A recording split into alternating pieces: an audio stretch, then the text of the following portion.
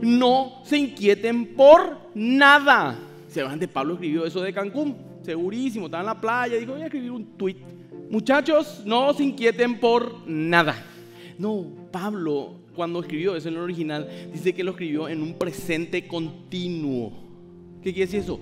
Que tiene que ser continuo. Nunca dijo Pablo ahí de que no vamos a tener problemas. Dijo que, en pocas palabras, en un presente continuo, que no se inquieten por nada, aún si no encontramos en dificultades. Paz. ¿Quién te dijo que lo que vos estás viviendo es el final de tu historia? ¿Quién te dijo que lo que vos estás viviendo es tu vida? Este momento, este exacto momento, esta temporada de tu vida, ¿es tu vida entera o es una temporada de ella? Pero nos desesperamos, nos volvemos ansiosos, nos preocupamos a crédito y así nos va. No se inquieten por nada.